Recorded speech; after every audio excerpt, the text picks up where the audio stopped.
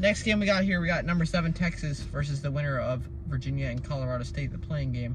I think Colorado State won that game personally behind Isaiah Stevens and a very, very good defense. Um, but I've, I've got Texas beating them, um, or whoever they play for that matter, behind Max Abmas and Dylan Disu, who's back this year. Abmas is an excellent guard, transferred from Oral Roberts, uh, 17 points a game. Um, him and Tyrese Hunter a great duo guard. I, frankly, I got Texas in this game. Yeah, I have Texas as well. They were people forget they were one blown lead away from making the Final Four last year. They lost in Elite Eight to Miami, and they have a lot of same returning players. Dillon Mitchell is a great defender, great athlete, and a great rebounder. Dylan Disu, on the other hand, is a flat out scorer. He shoots 50% from three.